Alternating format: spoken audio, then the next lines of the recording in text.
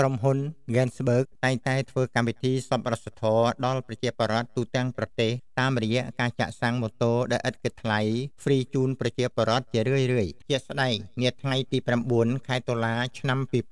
2024នៅបរិវេណស្ថានីយ៍ប្រេងឥន្ធនៈមួយកន្លែងស្ថិតក្នុងភូមិរាសង្កាត់ស្វាយអាតក្រុងពោធិ៍សាត់ក្រុមការងារ Gensberg បានបន្តចាក់សាំងម៉ូតូដោយឥតគិតថ្លៃចំនួន1000ម៉ូតូ ជូនប្រជាពលរដ្ឋក្នុងក្រុងពោធិ៍សាត់ខេត្តពោធិ៍សាត់ដើម្បីជួយសម្រាលបន្ទុកមួយចំណែកដល់ពួកគាត់កម្មវិធីនេះដែរបានការអញ្ជើញចូលរួមពីម្ចាស់ពាន Beat the Best ទាំងពីររដូវកាលរួមមានតារាចម្រៀងលោកសួវិចិត្រនិងកញ្ញាលីនសូម៉ាក៏បានចូលរួមចំណែកថវិកាក្នុងកម្មវិធីសំរសធរជាមួយ Gensberg ចាក់សាំងហ្វ្រីដល់ប្រជាពលរដ្ឋថែមទៀត ក្នុងព្រឹត្តិការណ៍នេះបានធ្វើឲ្យប្រជាពលរដ្ឋមានការភ្ញាក់ផ្អើលដោយទឹកបាក់ទំនប់ដោយបានស្រែកចេញពីចិត្តថាក្រុមហ៊ុនចិត្តល្អក្រុមហ៊ុនចិត្តល្អអរគុណហើយបាននាំគ្នាស្រែកហូនិងសរសើរមិនដាច់ពីមាត់ពីមួយទៅមួយមិនចេះចប់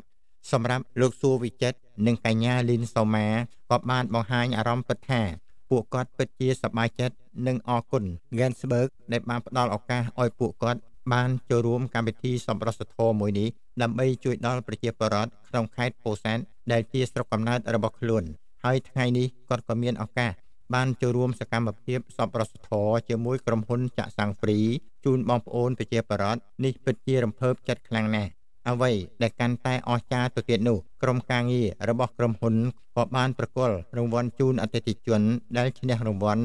168ដុល្លារគឺលោកលងឡាលីន រស់នៅភូមិជ័យជំនះឃុំមនុងវិលស្រុកកណ្ដៀងខេត្តពោធិ៍សាត់រួមទាំងពួកម៉ាល្អ100នាក់ដោយក្នុងម្នាក់ទទួលបានថវិកា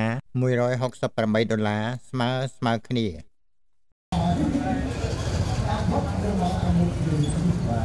ខ្ញុំឈ្មោះរដ្ឋានៅពុកនៅពុកនៅពោធិ៍សាត់បងបាទសបាយបងកម្មវិធីធ្វើធ្វើបង្កើតកម្មវិធីមកសបាយបងល្អបងបាទខ្ញុំចង់សនំពោឲ្យក្រុមហ៊ុន Gamesburg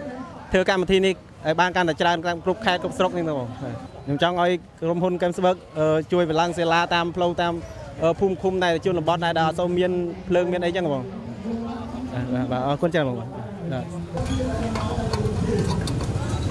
ពេលថាណាគឺថាបងប្អូនដដែលដូច្នេះគឺអ្វីដែលសំខាន់អ្នកដែលមានគឺយើងចាក់តអស់